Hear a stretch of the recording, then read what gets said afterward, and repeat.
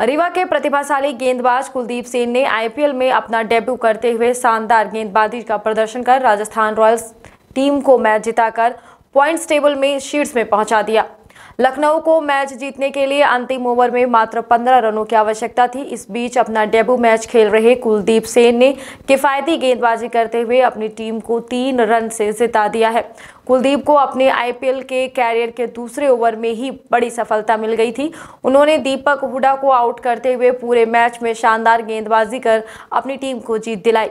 उन्होंने इस मैच में सबसे तेज गेंद 146.4 की स्पीड के साथ फेंकी, जिसके लिए उन्हें अवार्ड भी दिया गया है। उन्होंने इस मैच में उनके शानदार प्रदर्शन से उनके परिवार के साथ ही रीवा वासियों में खुशी की लहर है। रविवार को राजस्थान और लखनऊ के बीच हुए मैच में राजस्थान की ओर से खेलते हुए रीवा के प्रतिभाशाली खिलाड़ी कुलदीप सेन ने अपना डेब्यू किया। उन्होंने शानदार गेंदबाजी कर अपनी टीम को जीत दिलाकर अपने परिवार के साथ ही रीवा सहित विंध्य का मान बढ़ाया है।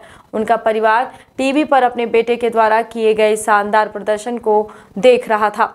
रविवार को खेले गए मैच में राजस्थान रॉयल्स ने आईपीएल 2022 के रोमांचक मुकाबले में लखनऊ सुपर जॉइंट्स को तीन रनों से हरा दिया। इस मैच के जीत के असली हीरो रीवा खिलाल आईपीएल में डेब्यू स्टार कुलदीप सेन रहे। उनके द्वारा आखिरी ओवर में की गई गेंदबाजी ने मैच की बाजी ही पलट कर रख दी। मार्कस स्टाइनिस जैसे धाकड़ बल्लेबाज के स्ट्राइक पर रहते हुए भी जीत के लिए ज़रूरी पंद्रह रन नहीं बनने दिए और अपनी टीम को जीत दिला दी। आईपीएल में कुलदीप के चयन के बाद से ही रीवा सहित विंध्यवासी कुलदीप को आईपीएल मैदान पर देखना चाह रहे थे।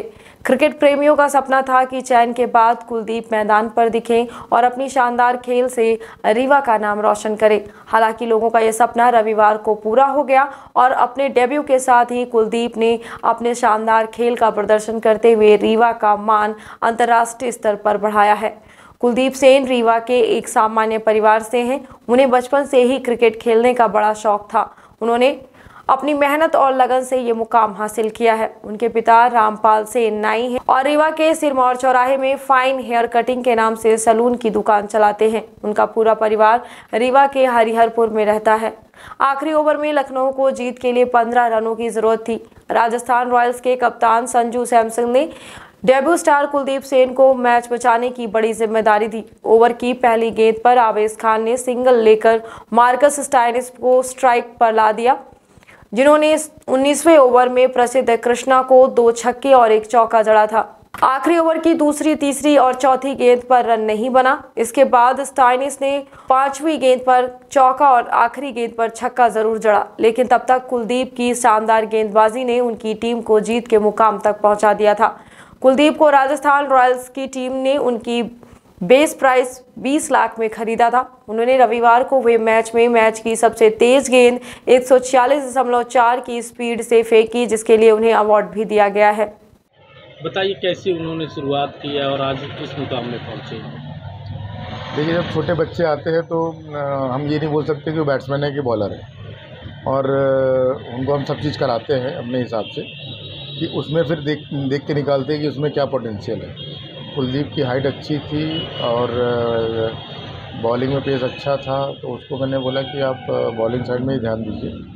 शिक्षा दिए कैसे यहाँ तक पहुँचे अब शिक्षा हम हमारा कोई बहुत ज़्यादा रोल नहीं है। हम तो उसको पढ़ने के लिए आ भेजा करते थे। तो हमारे बिना जानकारी के वो उधर क्रिकेट देखता था स्टेडियम में और वहीं पढ़ता था मारतंड स्कूल में। स्टेडियम नज़दीक है। तो उसके मन में भाग गया क्रिकेट। अब कंडीशन तो पुअर थी, पैसे वैसे नहीं थे। तो वो पता नहीं कैसे, किसके द्वारा सर के पास पहुँच गया अंथोनी सर उसके कोच थे।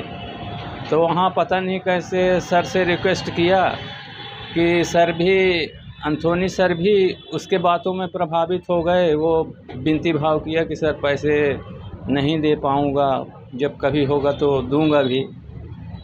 तो सर जो है तो खुश हो गए और उसे कोचिंग देने लगे और अच्छे ढंग से दिए कोचिंग माने उसको मानते थे। भी कभी कभी वो बताता था कि, धोनी सर हमको अलग से भी कुछ सिखाते हैं, बताते हैं।